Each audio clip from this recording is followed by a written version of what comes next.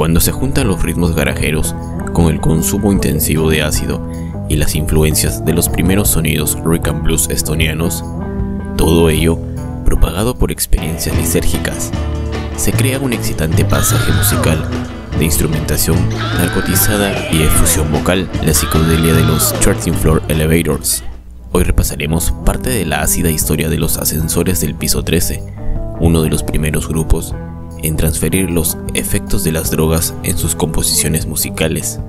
Su efímera vida dejó cuatro álbumes de estudio y varios sencillos, además de influir en músicos de la época como Peter Alvin, de la recordada Big Brothers and the Holy Company, que acompañó a Janis Joplin, y Billy Gibbons de CC Top, entre otros.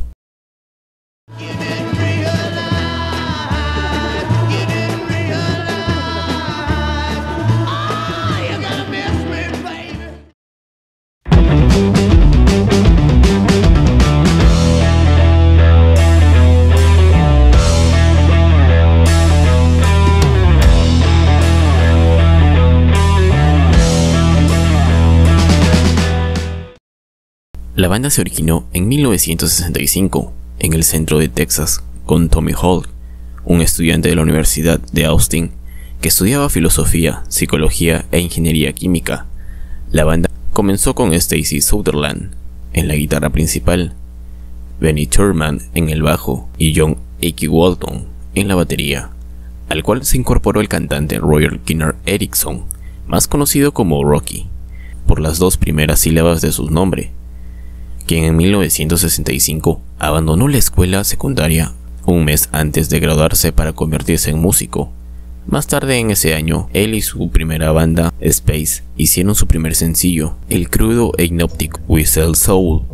Poco después de que los Space se disolvieran, se uniría a la banda de Hall. La mujer de Hall sugirió el nombre de 30 Floor Elevator, dado que la mayoría de los edificios no tenían un décimo tercer piso. La denominación parecía implicar que la banda tenía la capacidad de viajar a otras dimensiones y niveles de conciencia. A fines de 1965, la banda comenzó a escribir canciones. Pronto firmaron con Contact, un pequeño sello discográfico, donde grabaron el sencillo You're Gonna Miss Me, Try to Hell, una canción que había sido compuesta por Rocky en su época de los Space.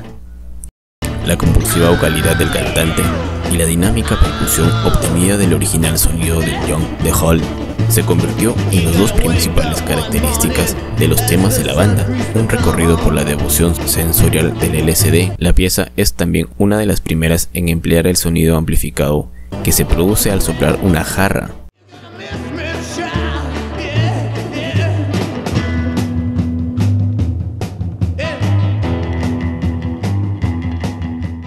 Los medios locales comenzaron a tomar nota de la banda y comenzó a realizar giras fuera del área de Austin.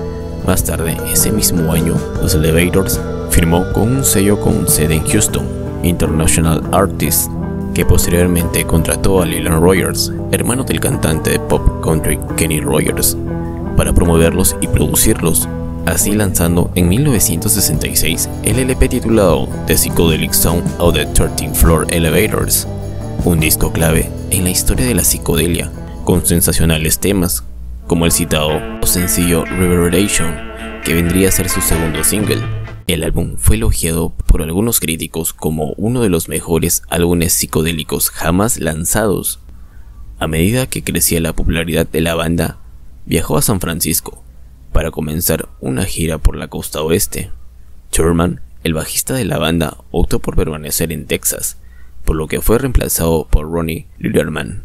La banda fue especialmente bien recibida en el área de, la bahía de San Francisco, donde tocó en el Avalon Bar Room, así como varios lugares más pequeños. Los Elevators aparecieron con bandas tan populares como Grateful Dead, Bobby Gray, The Big Brother Holly Company. Según se informa, los Elevators habían pedido a Janis Joplin que se uniera a ellos, aunque ella rechazó la oferta Joplin reconoció la influencia de la banda en su música. Una vez de regreso en Texas en 1966, los Elevators fueron arrestados por posesión de marihuana. Toda la atención relacionada con el uso de drogas ilegales convenció a muchas estaciones de radio Top 40 de prohibir la canción de la banda. En el verano de 1967, Walton el baterista y el bajista Little Man dejaron el grupo y fueron reemplazados por Donny Thomas y Dan Galindo. En 1967, la banda lanzó su segundo álbum, Easter Everywhere, que muchos consideran otra obra maestra de la música psicodélica. La banda comenzó a trabajar en su nuevo álbum lanzado en enero de 1969, como Ball of the Woods. Incluyó muchas de las canciones de Sutherland, pero no logró atraer elogios de la crítica o el éxito comercial, en parte porque se grabó sin la participación del vocalista principal, Rocky Erickson. El final de los Elevators coincidió con el arresto de Erickson por posesión de marihuana en 1969. Rocky afirmó en el juicio por drogas que era un marciano y le diagnosticaron esquizofrenia. Dado que no era su primera ofensa, Erickson era un esquizofrénico no tratado se enfrentó a una pena de prisión considerable. Para evitarlo, optó por una condena de tres años en el hospital estatal Rust para los criminales dementes, donde estuvo expuesto a terapias de descarga eléctricas. A principios de la década de los 70, trató de volver a reunir al grupo, pero nunca se materializó por completo. Por su parte, Erickson completó algunos álbumes en solitario y dos libros de poesía. También trabajó con varias bandas. En 1978, el guitarrista principal, Sutherland, recibió un disparo mortal de su esposa. En 1984, Erickson, Litterman y Walton tocaron en un espectáculo de reunión en Houston.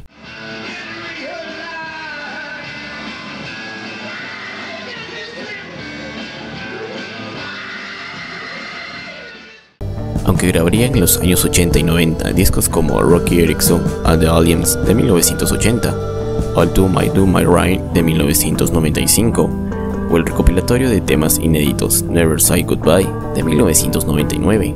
En el año 2002 se publicó el recopilatorio de Psychedelic World of the 13 Floor Elevators con todos sus discos de estudio y algunos trabajos en directo.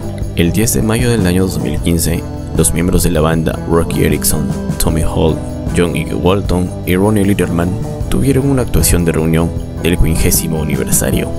Finalmente, Rocky Erickson murió el 31 de mayo del año 2019. Tenía 71 años de edad.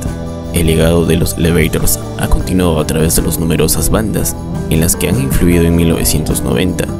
CC Top, R.E.M., Primal Scream y varios otros grupos populares lanzaron un álbum tributo en Warner Brothers en honor a los Elevators, Where the Prime Met the Ice, atributo de Rocky Erickson.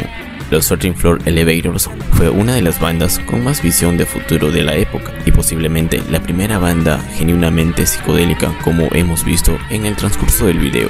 Hubo otros movimientos en esa dirección más notables como Country Joe and the Fish y Grateful Dead, aunque ambas bandas estaban tan endeudadas con las tradiciones del folk y el blues como los sonidos que expandían la mente.